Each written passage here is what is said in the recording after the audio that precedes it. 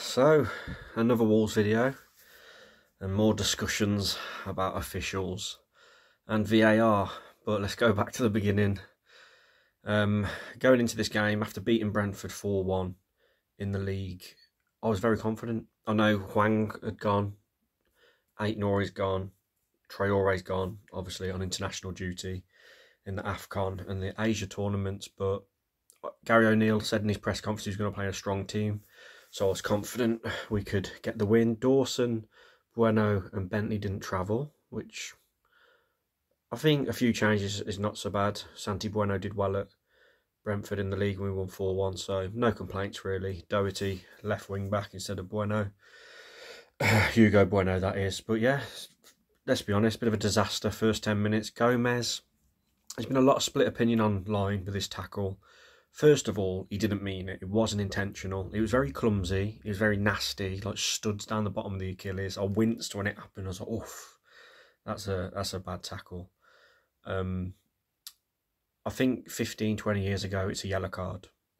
In today's game, I think it is a red card. My first instinct was yellow, but I think today's rules means it's a dangerous tackle and it's a red. The referee give red. VAR checked it they said it was a, a red.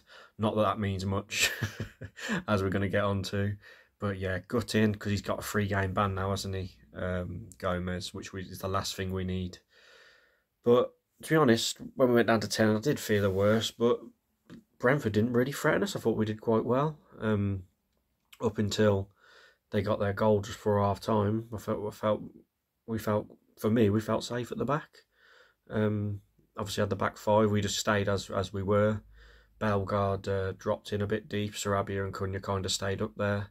With uh, that was to fill in for Gomes, and yeah, we looked okay. Didn't certainly didn't look like we had ten men to be honest. But yeah, Ma- Ma- is it Maupay? Ma- Maupay, as you pronounce it. Used to play for Brighton, didn't he?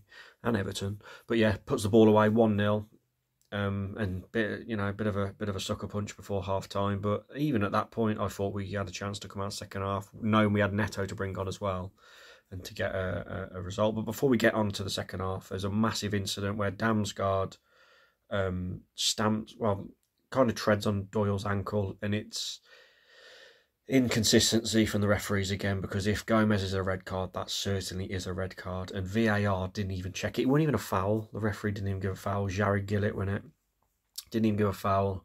VAR don't check it. And again, this is what Wolves fans keep banging on about the the inconsistent inconsistencies from the officials and the fact that they can't even see that on VAR is just it's just funny now. It's like we just expect it as Wolves fans. Like we just laugh and it's like, yeah, there we go any neutral fancy seeing those both of those tackles will say if Gomes is, is a red in the modern game, so should a Damsgaard been a red. So, but we're used to it.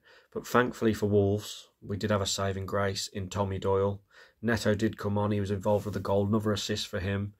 Got the ball off the corner. Um, a return pass from Bellegarde, I believe. Slots it to Tommy Doyle on the edge of the box.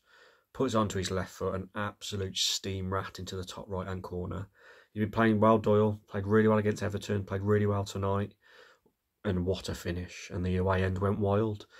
Couple of mentions. I think I thought Cunha was fantastic tonight again. Absolutely fantastic. Thought Sarabia had a bit of an off game compared to the high standards he's shown recently.